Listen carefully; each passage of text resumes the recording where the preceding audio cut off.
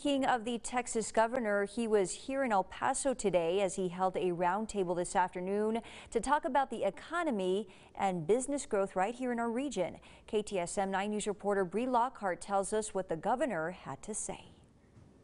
Governor Greg Abbott touched on many topics, including taxes, an increase in jobs, and small businesses. He says business is booming in El Paso right now.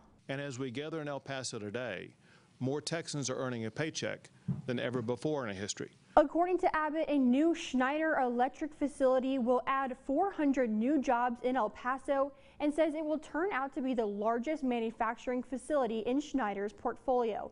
Additionally, he says even more jobs are coming. Also, a new distribution center and warehouse uh, for Marshall's clothing stores will eventually add more than 1,100 new jobs. According to Abbott, Texas is sitting on a budget surplus of $27 billion. But we need to remember whose money that really is. That money is the taxpayers' money. So what I am suggesting is that we provide at least half of that money back to taxpayers with the largest property tax cut in the history of Texas. He says the goal is lasting property tax relief for Texas.